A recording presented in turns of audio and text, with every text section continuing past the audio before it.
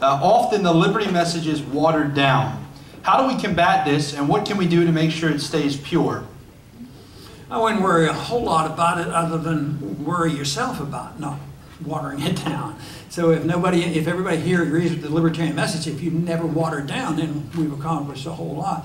But uh, no, there are there are some groups now that literally state, well, we haven't made enough progress fast enough, so therefore we have to do something else. And I, I in, a, in a way, I, I don't spend a lot of time on that because that's their decision. I think they're making a mistake, and uh, but but if they if they if they do that, uh, I think they are bending the rules by calling themselves libertarians if, if they give up too much of it. But uh, so so I think that uh, if somebody if somebody does that, but they still have something to contribute. For instance, uh, uh, you know, the division between uh, libertarians and progressives, I mean, I mean, sometimes it's so radical, it's difficult to do much with them. But I like to look on the best side of it. Uh, the progressive Democrats that I work with, like Dennis Kucinich, I don't dwell on the fact that he has a disagreement. We have a disagreement on medical care.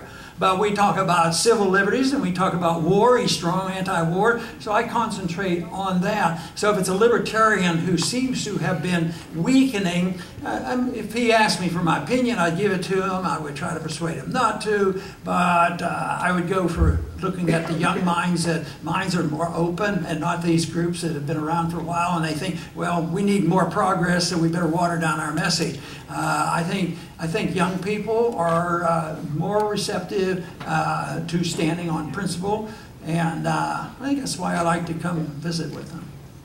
Another round of applause, Dr. Robert.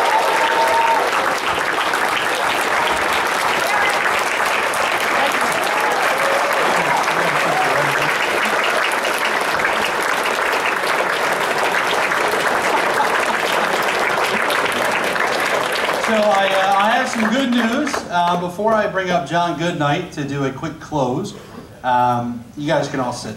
He deserves the, the standing ovation, not me. Um, Garrett.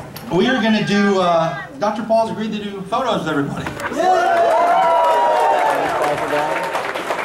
Now, I will tell you this, uh, you know, we're going to we're going to try our best to make sure every single person gets a photo.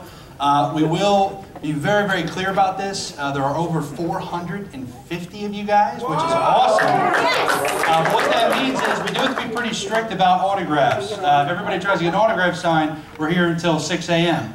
So uh, we will just be doing photos. We will take the photo uh, and we will post them to the YAL page, so you all will get them. So your phones can stay away. When you do get in line, please don't have any bags or anything with you, you need to put down, because we're going to try to work through it. The line is going to start here. Everybody hold where you're at. We still got a few things to do. The line's going to start here.